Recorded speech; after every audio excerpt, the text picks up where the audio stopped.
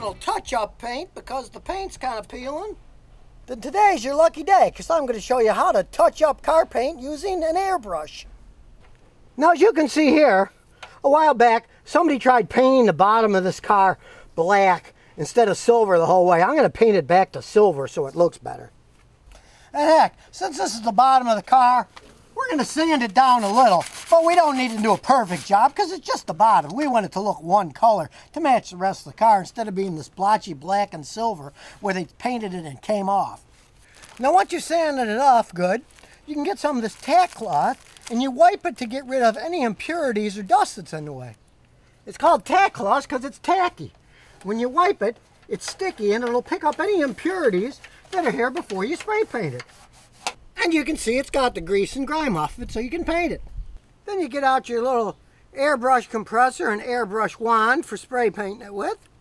And get yourself some paint. I just took the paint number off this car, went to an auto paint store, and they mixed me up a tiny batch. And if you're curious, here it is on the door jamb. Color, trim, there's the numbers for the paint. And make sure you have a little reducer to thin the paint. I use 50% thinner and 50% paint on a job like this. So we pour half paint and half reducer inside. I got this at the same paint store. Then you mix it all up inside this little eyedropper that comes with the airbrush kit. Then we put on the top, turn on the compressor, and away we go.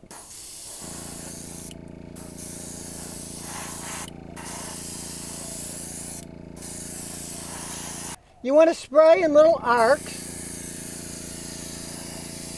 putting thin layers on one at a time. You don't want to put on too much and make it drip. You want it so you put in layer over layer over layer and eventually it fills the whole color in. And of course, do what I do, put an old tarp over the tire so you don't paint that inadvertently. You want to be patient. You want to spray a little like this in an arc and then let go at the end and then spray it back and let go at the end. Once it's starting to look good, then get a big fan and let it air dry for five or 10 minutes and then put another few coats on it to make it look better. Then once you're done painting, you get a little of the reducer and you pour it into the cup and then spray it out just to clean it out. That'll get all the paint out of the nozzles and it won't clog up the next time you want to use it. Look inside, it's whistle clean now and you can use it next time. And if you really want to do a good job, you can put this clear coat top coat on it, makes it shine even more. Just wait to do that eh, the next morning when everything's totally dry a few coats of the clear coat.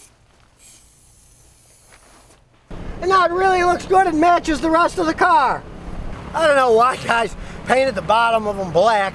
I guess it's just to cover up dents or something. It looks a lot better one color than part of it black and part of it silver anyway.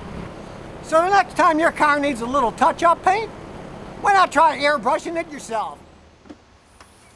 And remember, if you have any car questions, just visit the Scotty Kilmer channel.